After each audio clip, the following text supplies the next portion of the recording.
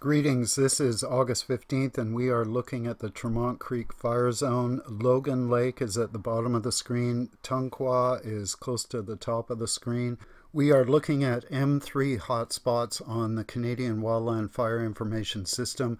This takes the data from three different satellites and combines it to almost triangulate exactly where the uh, hotspot position is. Keep in mind these can be obscured by smoke and haze and they can still be off position uh, depending on the orbits of those satellites and how the data is perceived. Logan Lake is close to the bottom right of the screen and these hotspots have reached to Highway 97D on about the center of the screen and over on the right hand side we can see a couple of hotspots there coming almost to the highway if we zoom out and look at that southeastern flank, we can see a hotspot between Weiss Lake and Pasca Lake. Then the fire line recedes around Chartrand Creek and comes back towards the west side of Dominic Lake. If we move a bit further north, uh, Tunkwa Lake is up in the top left-hand side of the screen. Uh, the fire line moves from Dominic Lake up towards Ferguson Creek and Duran Lake on the west side, and then up towards Duffy Lake on the west side. Moving a bit north again, uh, we can see it's going up the west side of Tunkwa Lake Road. There is a large cluster southwest of Fair Lake, and there's another hotspot that's uh, to the east of Mount Savona along Durand Creek. Zooming out, we can see that cluster southwest of Fair Lake uh, Savona Lake, and on the right hand side, Monroe and Tobiano. Wind is coming from the southwest at 24 kilometers an hour on the last check, about uh, 154. And if we look at the forecast, right about now, those uh, high winds should be uh, coming in from the southwest. Those winds are predicted to last until approximately 2 a.m. There could be some precipitation at 8 p.m. Uh, then tomorrow, Monday, those winds are expected to shift and turn from the west and uh, eventually end up coming from the north again. Monday evening, there may be some precipitation, and hopefully that adds up. This forecast is saying about 10 millimeters over a span of about 8 hours and starting around 5 p.m.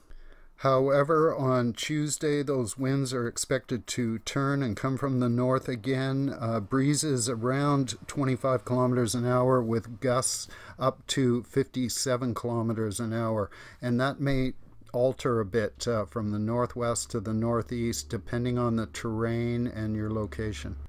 We are now moving northeast to the Sparks Lake Fire Complex. Bonaparte Lake is at the top of the screen. Barrier is on the right hand side of the screen. There was a large push eastwards of the fire zone into Bonaparte Park. We're zooming in now. We can see a lot of patterned M3 hotspots intermingled with random hotspots. Uh, a lot of lakes in the area. This is quite rugged country. The fire perimeter has expanded past Bonaparte River. Uh, it's right at Canine Lake and Skull Creek. And if we zoom out, we're looking at approximately 15 kilometers uh, overland uh, to the North Thompson River. Barrier is on the east side of the Thompson River in the lower right hand portion of the screen. We're zooming out now, taking a look at the Sparks Lake Fire Complex. We're looking at the M3 hotspots from yesterday, and we're going to roll into today. Now we see that orange hotspot indication. That is the newer data. Let's zoom in and take a look at that again. Here we are looking at yesterday's data, and please pay attention to Young Lake and the infrared clusters there at the top of the screen.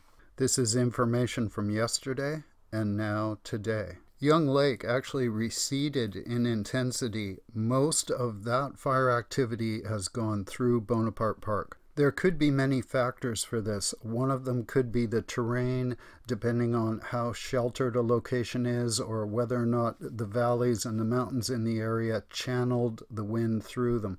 Uh, we'll need a ground report. That's crucial if you're anywhere near these fire zones, go to the BC Wildfire link in the description below and find out what the situation is and what they're reporting for this fire.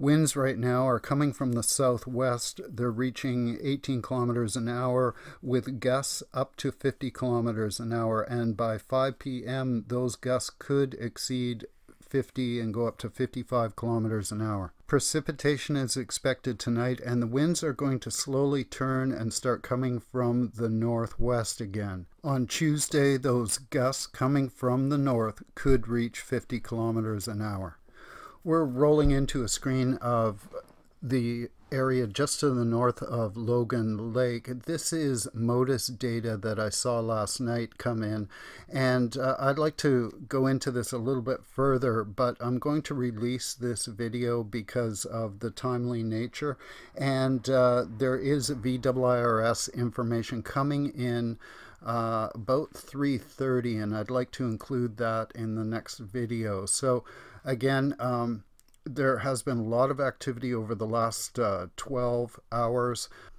I grabbed a few screenshots because the winds were coming from the south at 9 kilometers an hour and all the weather model sets stacked up against each other, they displayed that same uh, wind coming from the south. But here is the fire behavior. We're seeing it from yesterday and now today. So there was expansion to the east at the 12:30 a.m. update on the MODIS system. My suspicion is that these western gusts that were coming in yesterday fanned out over the terrain and pushed a lot of debris and incendiary material forward, creating spot fires. We may be seeing control strategies here, so uh, we'll have to review what the VIIRS data shows.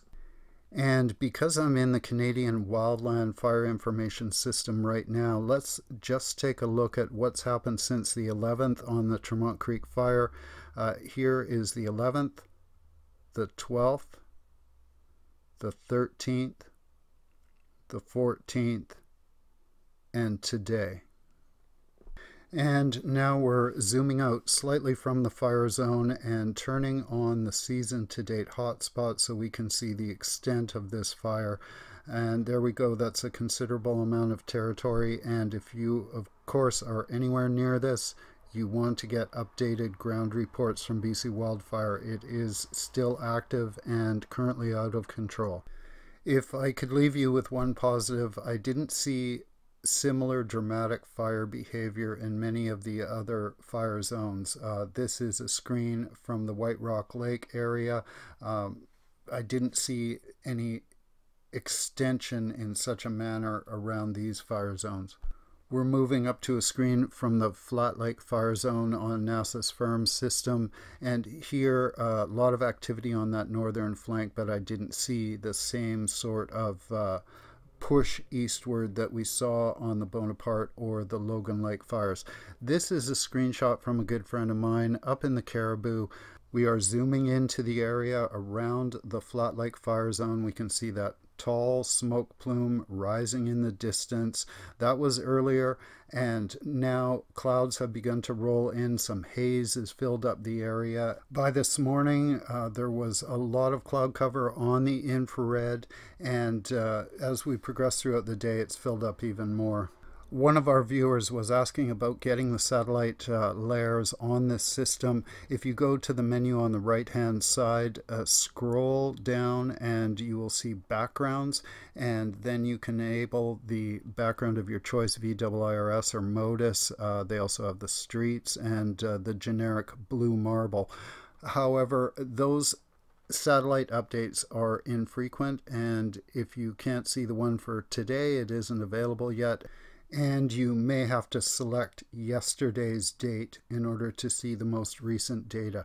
Uh, the MODIS Terra seems to update first, and uh, that's what we have just been viewing. The VIIRS data is probably just updated now, so I'm going to go and check that uh, for any changes or expansion in some of these fire zones. Thank you very much for watching, and uh, it is very active out there. Please be safe, please be careful and keep your nose to the breeze.